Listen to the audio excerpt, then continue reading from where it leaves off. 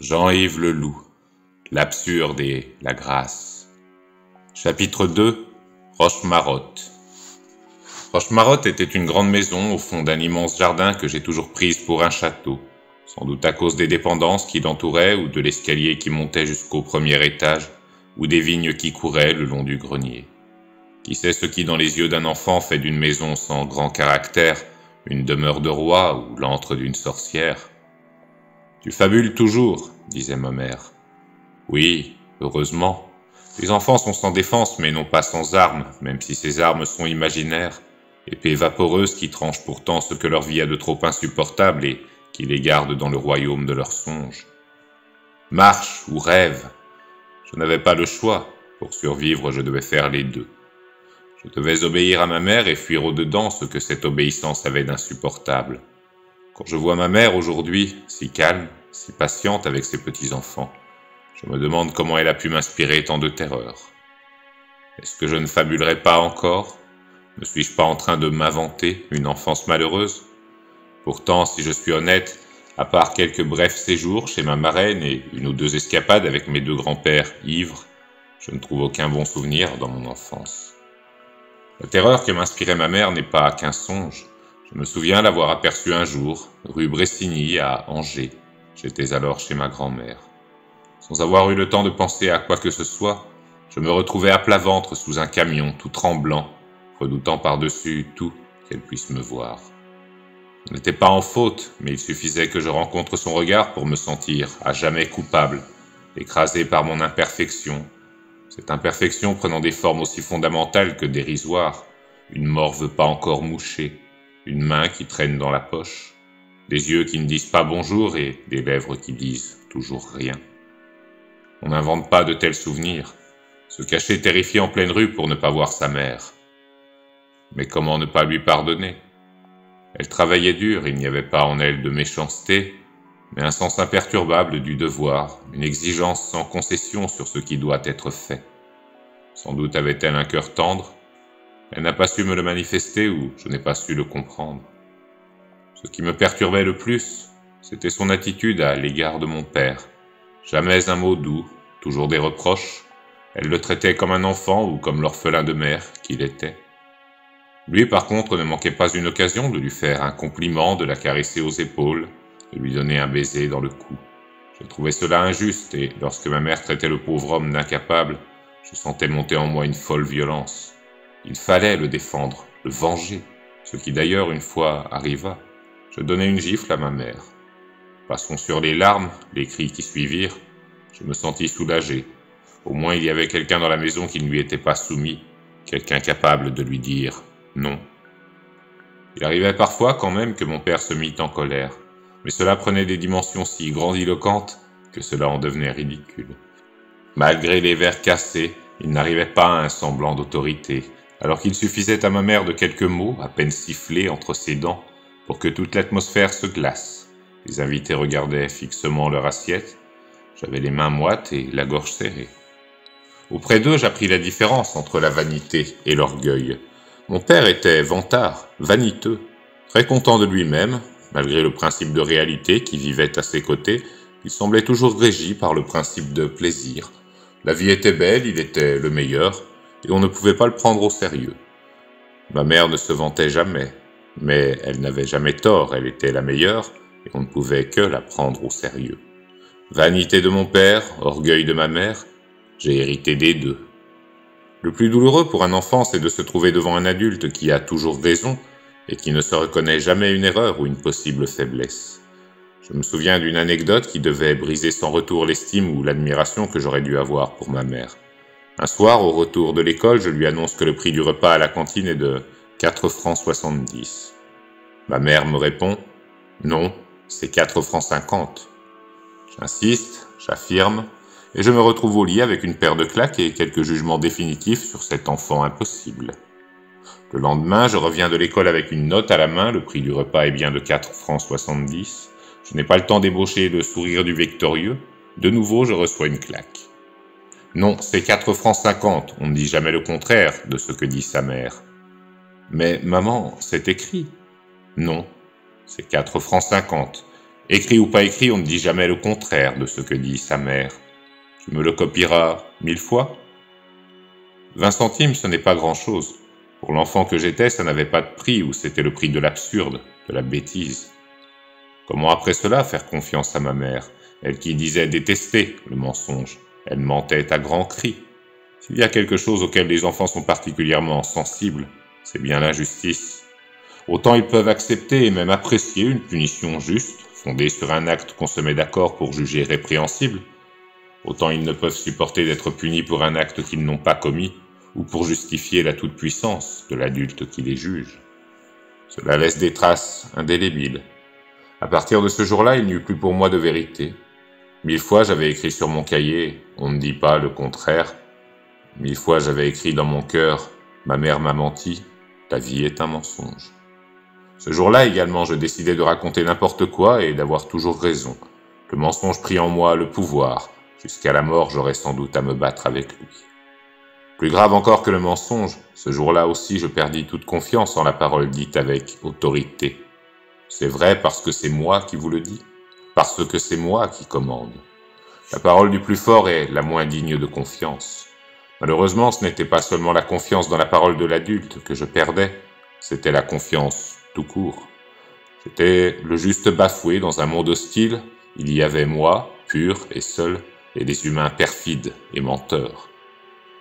Malheur à l'homme qui se fie en l'homme. Je devenais cathare, ou pour me donner un don d'oiseau moins flatteur, je devenais paranoïaque. Perroquet aux riches couleurs, exilé dans la cage sans air d'une famille même pas bourgeoise, c'est-à-dire sans concert le dimanche et sans grand-oncle qui réciterait en frisant ses moustaches deux alexandrins de Baudelaire.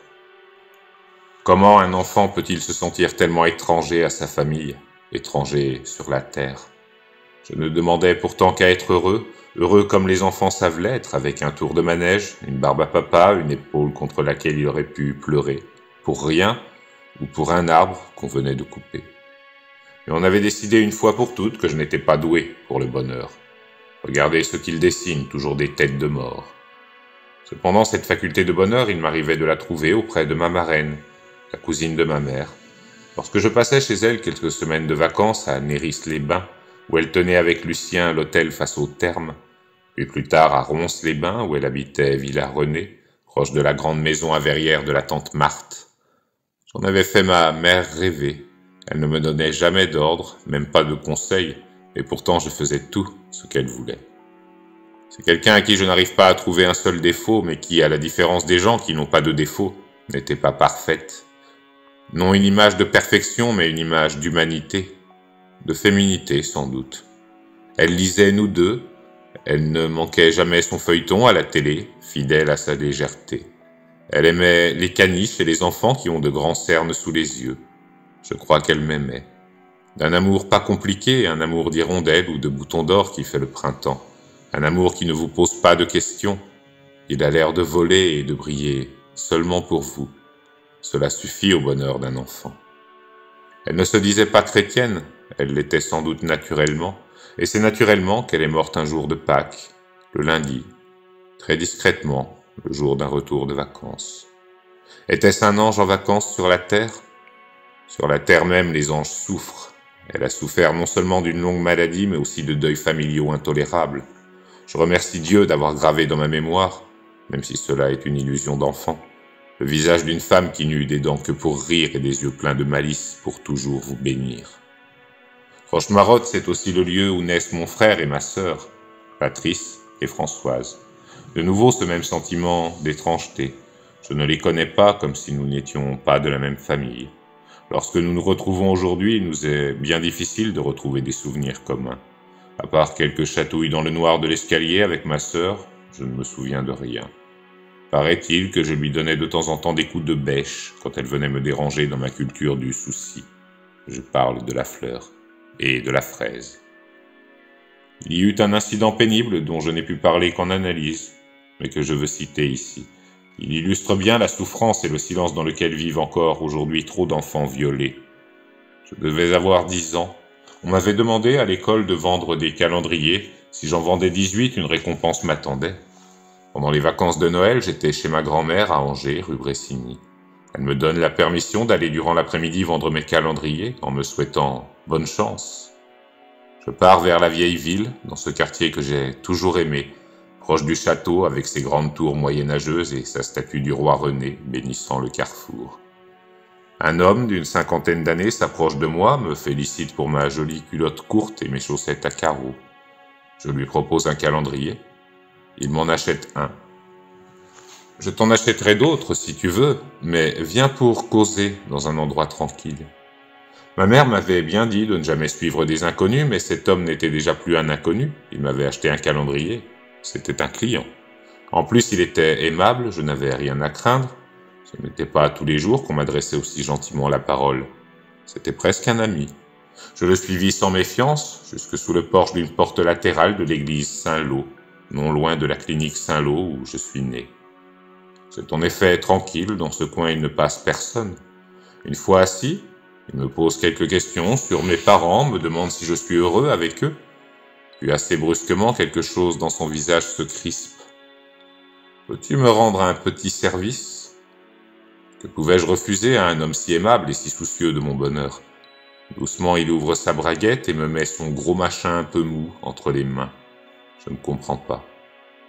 Ton papa ne te demande jamais ça, me dit-il, et il m'explique ce que je dois faire. Je lui dis que je ne sais pas faire ça et que je dois partir.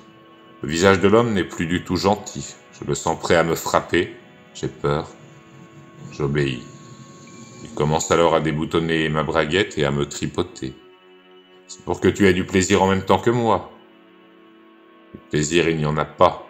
De la douleur plutôt, de plus en plus insupportable. Je croyais qu'il voulait m'arracher un lambeau de chair, le manger. C'était comme dans les mauvais contes que me racontait Gisèle. Un ogre, caché sous un chapeau et un veston cravate. Dans sa main, je vis du sang. Avec sa verge, il me fouettait le visage. Je commençais à gémir et à crier. Cela le mit en fureur. Si tu ne te tais pas, je te tue. Il arriva enfin à ce qu'il voulait, me lança son sperme dans la bouche, les yeux, les oreilles. Ne pouvant plus étouffer mes cris, il me donna un coup de poing et partit après s'être rhabillé d'un pas rapide. Combien de temps suis-je resté à moitié assommé sous le porche de cette église? À la terreur que je venais de vivre succéda une autre terreur, ma mère. Il ne faut pas qu'elle voie, il ne faut pas qu'elle sache, sinon elle va me punir. Je lui ai désobéi. Il me fallait au plus vite effacer toute trace et ne jamais en parler. Après avoir vomi, je me rendis dans un café proche pour me nettoyer dans les toilettes. Le soir, je rentrais à la maison, j'avalais une boîte de cachets d'aspirine, pensant que cela suffirait à me faire mourir. J'avais honte, pour moi, cet homme, pour Dieu qui abritait de telles turpitudes sous le porche de ces églises. Je me sentais trop coupable pour pouvoir en parler à quiconque et trop innocent pour ne pas souhaiter mourir. Malheureusement, il y eut de nouveau un matin avec seulement une fièvre, des diarrhées et un mal de ventre plus violent que de coutume. Ma grand-mère de nouveau me trouva neurasthénique et ma mère jamais content, comme d'habitude. Pourquoi les enfants violés, c'est plus fréquent qu'on ne le pense, n'en parlent-ils jamais à leurs parents? Sans doute devrait-on les mettre en garde contre ces gentils inconnus qui les abordent, mais ne pas les traumatiser au point que la désobéissance à ces sages conseils devienne plus grave que le tort et la souffrance qu'ils viennent de subir. On peut pardonner avec sa tête, avec son cœur. Le corps, lui, met plus longtemps à comprendre. Pour que la sexualité ne m'apparaisse plus comme une chose sale et dégoûtante, il me faudra attendre la lecture attentive des premiers chapitres de la Genèse. Et Dieu vit que cela était bon. Si mon esprit et mon affectivité adhèrent à cette parole, mon corps demeure lent à y croire. Roche-Marotte, pourtant, ce ne fut pas que le temps de l'absurde, il y eut aussi des moments de grâce. Cette grâce venait souvent me chercher au creux de mon lit, profitant de la maladie et de la fièvre pour me donner de sa bonne humeur. Le foie ou la vésicule biliaire étaient devenus les lieux privilégiés de mes somatisations. Il m'arrivait souvent d'avoir la jaunisse. C'est au cours d'une de celles-ci que dans un demi-délire j'écrivis mon premier roman. Il s'appelait Descente aux abricots. Je venais de lire le titre d'un livre de Rimbaud, Descente aux enfers. C'était évident qu'il me fallait descendre plus bas ou aller plus loin. On m'avait apporté un abricot du jardin, je le mis contre ma bouche, je respirais son odeur, Je savourais son goût et je commençais ainsi mon voyage, ma descente aux abricots. Je découvris très vite que l'abricot était inaccessible. Si je l'avais dans la bouche, je ne l'avais plus devant les yeux. Si je voyais son noyau, une grande partie de sa peau m'échappait. On ne peut saisir l'abricot que successivement et en partie. Sa totalité demeurant pour toujours inconnue. Il n'y avait qu'une solution, devenir abricot soi-même, connaître l'abricot par l'abricot. Je me mis à abricoter.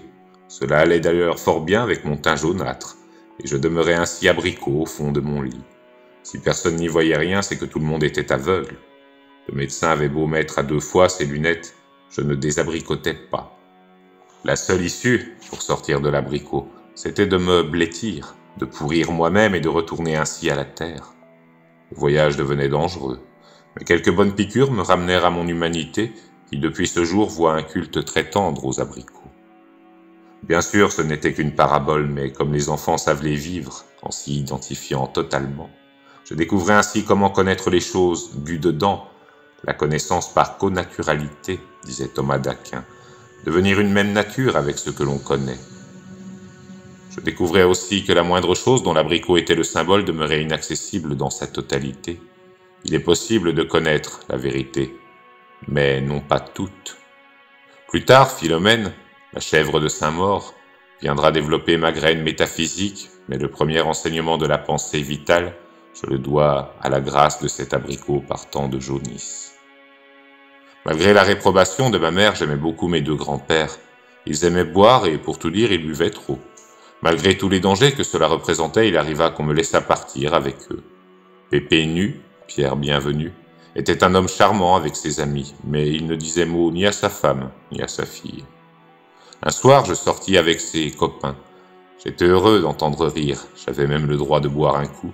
Il était fier de son petit-fils. Nous sommes rentrés vers cinq heures du matin. Ma grand-mère était en larmes, elle venait de passer une nuit d'enfer, imaginant mille et un accidents sur notre route. Quand un enfant a été heureux toute la nuit, il ne comprend pas que c'est sa grand-mère qui a raison. De nouveau, la femme prit pour moi son visage de castratrice. On ne me laissa plus jamais sortir seul avec Pépé nu. Pépé Loup, André le Loup, était lui aussi un homme qui vivait à l'extérieur, délaissant sa maison, maison habitée par une troisième femme avec laquelle il ne s'entendait guère. Je me souviens d'une soirée où il me conduisit avec lui au casino de Bagnols sur Orme. J'avais dans la poche un livre de Jacques Lowe, en mission prolétarienne. Où avais-je trouvé une telle littérature? Je ne comprenais pas ce que le titre pouvait dire, mais le mot prolétarienne me séduisait beaucoup. C'était certainement le nom d'une choucroute très savoureuse. Lorsque je le montrai aux messieurs et aux dames bien habillées, mon livre provoqua quelque hilarité.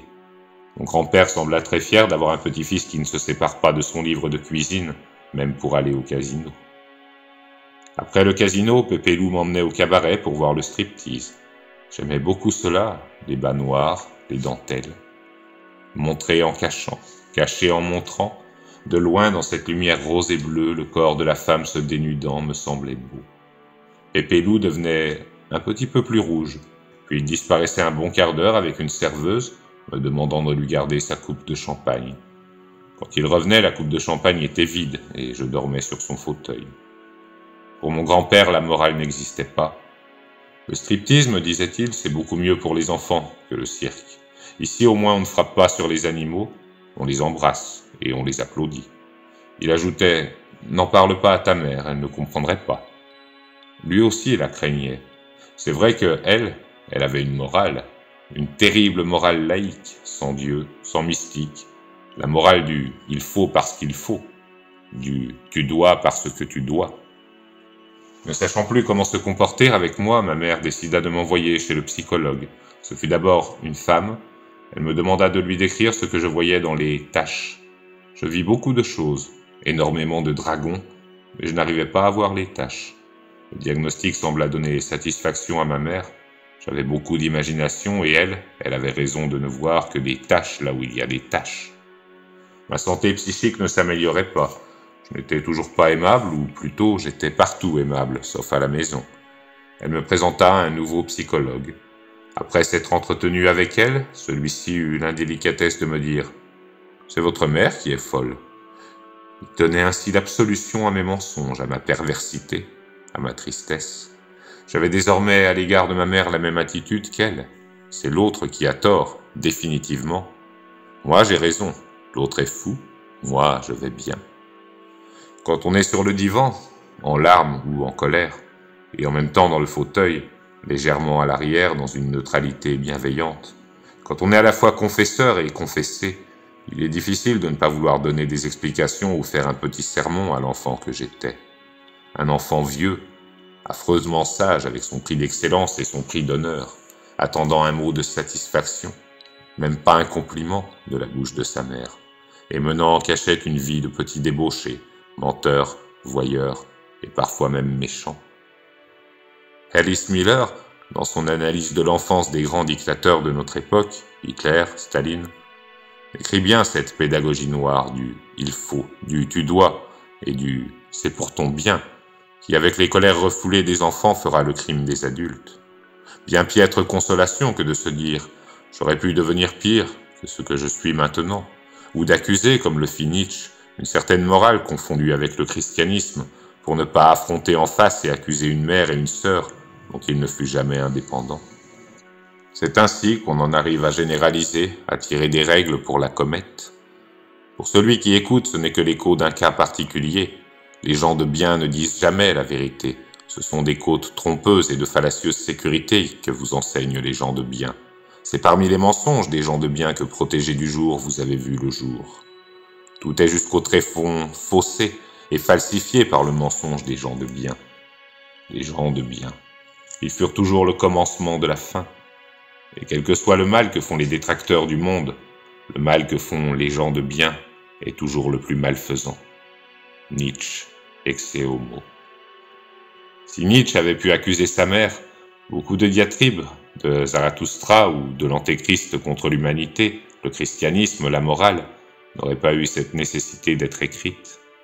Mais comment dire à sa mère qu'on ne l'aime pas, quand on est si fragile, et que le père, la maison, la vie, tout dépend d'elle il ne me sera pas difficile par la suite d'adhérer à ces paroles de l'Évangile. Si quelqu'un vient à moi sans laisser son père, sa mère, ses enfants, ses frères, ses sœurs et jusqu'à sa propre vie, il ne peut être mon disciple. En mettant en pratique cette parole, je ne me faisais pas disciple du Christ, je n'étais que soumis à ma pulsion de mort. L'amour de Dieu peut devenir le beau prétexte qui cache une inavouable haine. Mais, comme le dit Pascal, L'erreur, c'est l'oubli de la vérité contraire. Dans l'Évangile et dans la Bible, il est bon de chercher la parole qui dit le contraire de celle qu'on vient de lire.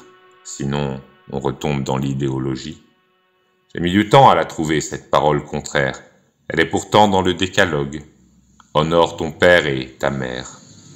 La racine KBD signifie moins honorer ou glorifier que donner du poids à quelqu'un, reconnaître sa réalité.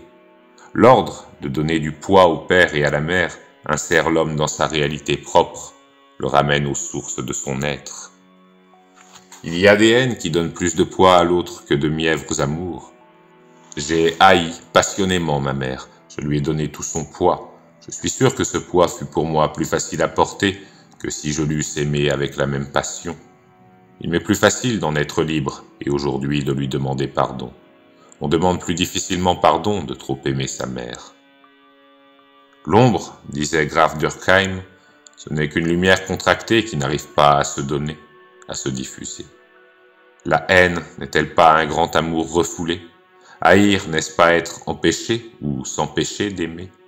Dire à quelqu'un qu'on le déteste, l'aimer encore assez pour le haïr, regarder cette haine en face, aimer cette haine et voir fondre la glace. Cette glace cachait de l'eau vive.